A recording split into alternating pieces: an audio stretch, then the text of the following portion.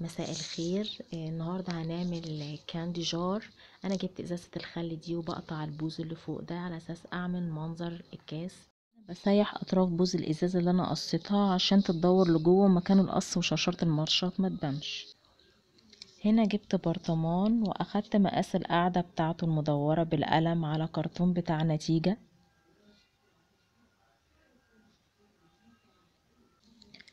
وهقص الدورية بالمقص.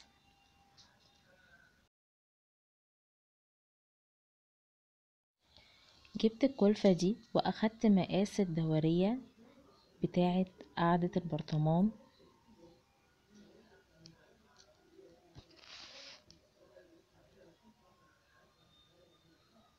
بحها بغير الخشب كويس جدا عشان تساعدني أما تنشف تكون الشكل المدور اللي أنا عايزاه. بنشفها ورق مقوي أو كرتون شريط طويل سمكه سنتي. حوالين الدورية أنا عملتها والزقه بالشمع. أنا لزقت الشريط حوالين الدورية وكمان بوز الإزازة في نص الدورية دي بالشمع كويس جدا.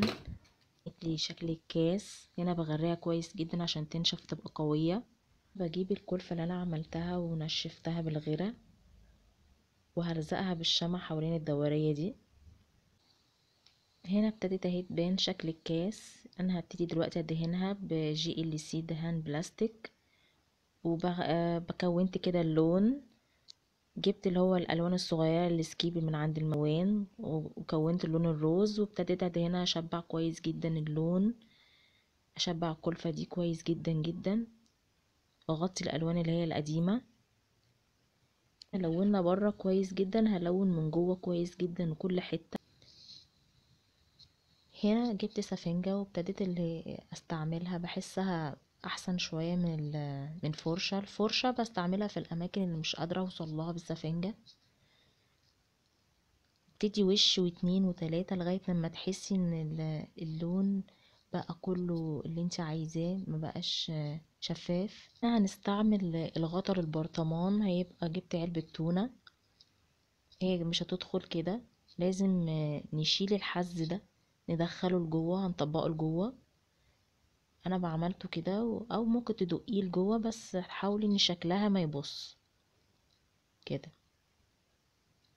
هي كده قفلت خلاص دخلت جوه البرطمان. عشان دخلت كل الحواف دي طبقتها لجوه. الحلقان اللي هي بتاعت الستارة.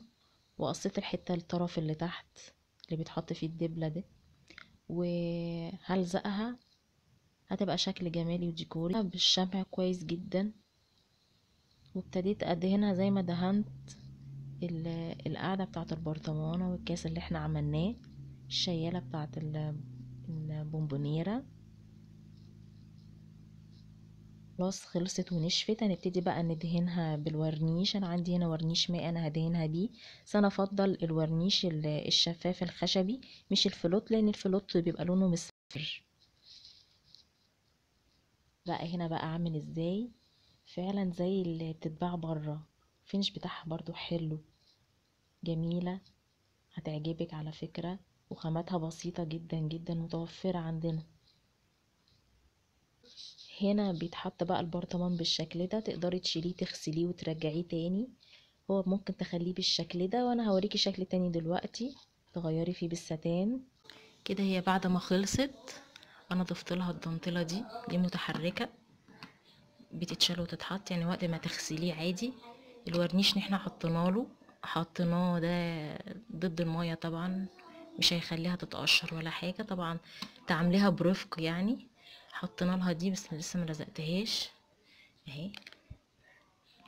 جميلة يا جماعة. تحس انها عاملة زي الفورجيه كده بالظبط. وناشفة وقوية. تقدري تشيلي تغسلي البرطمان براحتك وترجعيه تاني. يا رب يكون الفيديو عجبكم. واستنوا كله جديد بقى إن شاء الله.